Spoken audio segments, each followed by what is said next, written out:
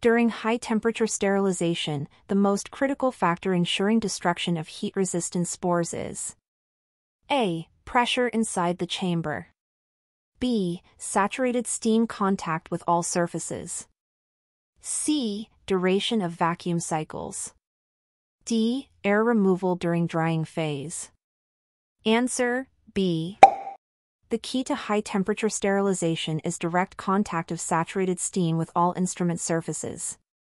Pressure aids steam penetration, but sterilization efficacy depends on heat transfer from steam.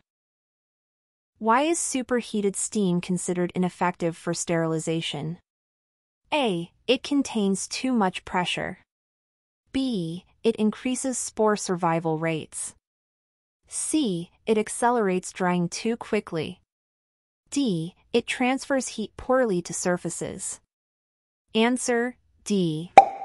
Superheated steam acts like dry heat, which transfers heat less effectively than saturated steam.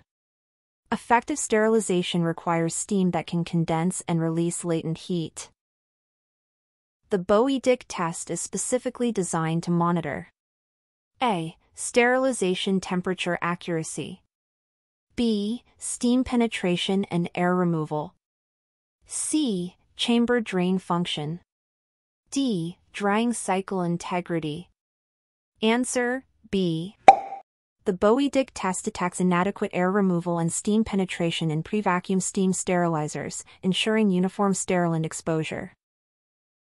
What is the minimum recommended exposure time at 132 degrees Celsius 270 degrees Fahrenheit for wrapped instruments in a pre-vacuum cycle? A. 2 minutes. B. 3 minutes. C. 4 minutes. D. 10 minutes. Answer C. According to standards, wrapped instruments in pre-vacuum steam sterilizers require at least 4 minutes exposure at 132 degrees Celsius to achieve sterility assurance. Which part of the sterilizer must be checked daily for obstruction to avoid sterilization failures? A. Chamber drain line. B. Steam pressure gauge. C. Chamber walls. D. Temperature probe. Answer A. The chamber drain is crucial for removing air and moisture. Any blockage prevents steam contact with items, causing sterilization failure. Why is a pre-vacuum sterilizer more efficient than a gravity displacement sterilizer? A. It operates at lower temperature. B. It eliminates the need for drying. C. It removes air actively before steam entry. D. It allows longer exposure times. Answer C. Pre-vacuum sterilizers actively evacuate air, enabling faster and more reliable steam penetration compared to passive gravity displacement. The correct biological indicator for high-temperature steam sterilization is A. Bacillus subtilis B. Bacillus stearothermophilus C. Clostridium sporogenes. D. Escherichia coli. Answer B. Geobacillus, Bacillus, Stearothermophilus spores are used as biological indicators because of their resistance to moist heat, validating steam sterilization. What problem occurs if steam quality contains excessive moisture, wet steam? A. Reduced chamber pressure. B. Wet packs after sterilization. C. Increased spore kill rate. D. Lower energy efficiency. Answer B. Wet steam condenses excessively, leaving packs wet and compromising sterility due to wicking of microorganisms post-cycle. Which sterilizer cycle relies solely on steam gravity displacement without vacuum assistance? A. Flash cycle. B. Pulsed vacuum cycle. C. Pre-vacuum cycle. D. Gravity cycle. Answer D. Gravity cycles use steam entering from the top to displace air downward and out of the chamber drain. What is the primary purpose of the drying phase in a steam sterilization cycle? A. Kill resistant spores. B. Prevent recontamination. C. Improve cycle time. D. Reduce condensation in chamber. Answer B. Proper drying ensures packages remain dry, preventing wicking of microorganisms and maintaining sterility. If a wrapped load comes out wet after sterilization, the first corrective action is to A. Recall all loads processed that day. B. Repeat biological monitoring immediately. C. Check for chamber drain function or steam quality issues. D. Rerun the load without drying phase.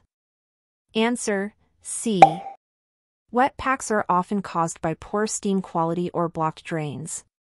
These must be corrected before load release decisions. Why are air leaks particularly dangerous in pre-vacuum sterilizers? A. They prevent temperature from rising. B. They allow unsterilized air pockets inside loads. C. They speed up drying but reduce efficiency. D. They damage biological indicators. Answer B. Air leaks allow unsterile air to enter the chamber, preventing steam penetration into packs and creating cold spots. What is the sterilization parameter F0 used to measure? A. Amount of steam pressure. B. Equivalent lethality of a sterilization process. C. Moisture content in chamber. D. Speed of drying cycle. Answer B. F0 represents the equivalent time in minutes at 121 degrees Celsius required to kill microorganisms. It is used to evaluate sterilization effectiveness. Which cycle is commonly used for unwrapped surgical instruments needed urgently? A. Pre-vacuum 4-minute cycle. B. Gravity 15-minute cycle. C. Immediate use steam sterilization, IUSS, cycle. D. Bowie-Dick test cycle. Answer C.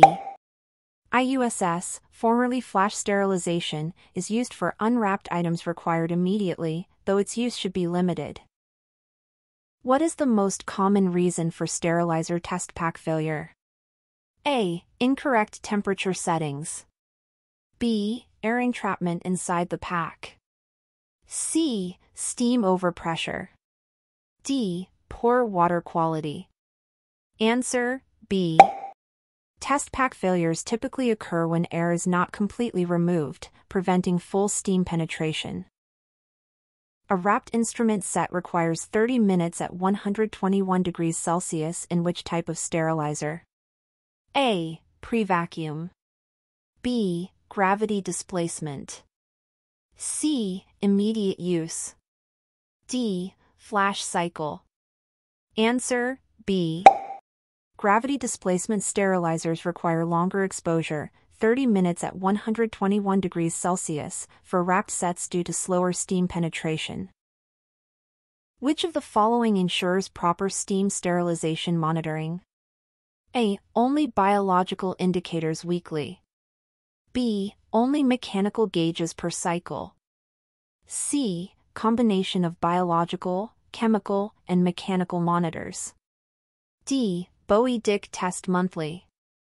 Answer C. All three, mechanical, chemical, and biological, monitoring methods are needed to validate sterilizer performance and sterility assurance. What is the maximum acceptable drying time in a steam sterilizer for textile packs? A. 15 minutes. B. 30 minutes. C. 45 minutes. D. 60 minutes. Answer B. Drying textile packs longer than 30 minutes increases risk of recontamination and inefficiency. Standards limit it to 30 minutes. Why should steam pressure not exceed the recommended limit? A. It weakens instrument metals. B. It creates superheated steam that reduces sterilization efficiency. C. It shortens exposure times excessively. D. It causes rapid drying before sterilization completes. Answer B. Excess pressure produces superheated steam, which reduces condensation and heat transfer, lowering sterilization effectiveness. What is the minimum standard cycle for porous loads in a pre-vacuum steam sterilizer? A. 121 degrees Celsius for 30 minutes. B. 128 degrees Celsius for 10 minutes. C. 134 degrees Celsius for 18 minutes. D. 132 degrees Celsius for 4 minutes. Answer D. Porous loads, such as textiles, require at least 4 minutes at 132 degrees Celsius in a pre-vacuum cycle for sterilization. What is the primary role of the chamber jacket in a steam sterilizer? A. Generate steam pressure. B. Maintain chamber temperature uniformity. C. Shorten exposure times. D. Provide air evacuation. Answer B. The chamber jacket keeps walls hot, preventing premature steam condensation and ensuring even sterilization temperatures. A chemical indicator that reacts only when exposed to all three critical parameters, time, temperature, and steam, is known as A. Class 2 B. Class 3 C. Class 5 Integrator D. Class 1 Process Indicator Answer C. Class 5 integrators respond to all critical sterilization parameters, offering high-level assurance of cycle success. Why are rigid sterilization containers preferred over wrapped sets for long-term storage? A. They provide better barrier protection against microbes. B. They prevent corrosion of instruments. C. They are lighter and cheaper. D. They reduce sterilization exposure time. Answer A. Rigid containers provide superior microbial barrier properties, protecting sterile integrity during long-term storage. What is the correct placement for a biological indicator in a test pack? A. On top of the load. B. Near the chamber door. C. Deep inside the pack's densest area. D. Outside the sterilizer. Answer C. Biological indicators must be placed in the most difficult area for steam penetration to challenge sterilizer effectiveness. If chemical indicators inside a wrapped set do not change color, the next step is to A. Release the load after visual check. B. Rerun the set through the sterilizer. C. Assume external indicator is sufficient. D. Send for microbiological testing only. Answer B. A failed chemical indicator inside a pack means steam did not reach, the set must be re-sterilized. What cycle uses multiple pressure and vacuum pulses to remove air before steam admission? A. Gravity cycle. B. Bowie-Dick cycle. C. Pre-vacuum cycle. D. IUSS cycle. Answer C. Pre-vacuum cycles employ repeated pressure and vacuum pulses to achieve complete air removal and effective sterilization. What happens if textile packs are loaded too tightly in a sterilizer? A. Shorter drying time. B. Restricted steam penetration. C. Higher chamber pressure. D. Overheated metal instruments. Answer B. Tight packing prevents steam from circulating, leading to inadequate sterilization and failed indicators. Which of the following is the primary advantage of moist heat over dry heat sterilization? A. Lower temperature requirements with better spore destruction. B. Longer exposure time ensures deeper penetration.